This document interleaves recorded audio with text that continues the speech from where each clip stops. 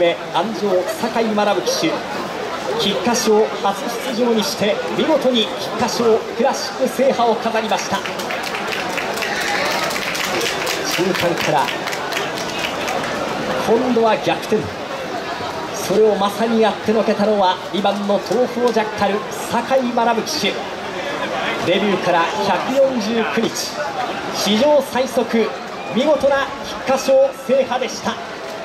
堂々たる圧勝2番の東方ジャッカル酒井学今右手が高々と上がりました。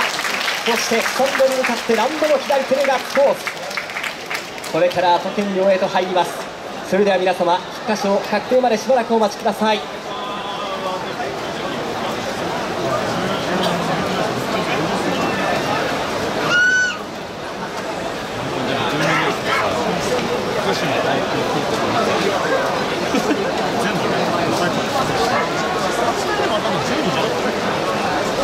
ス女王杯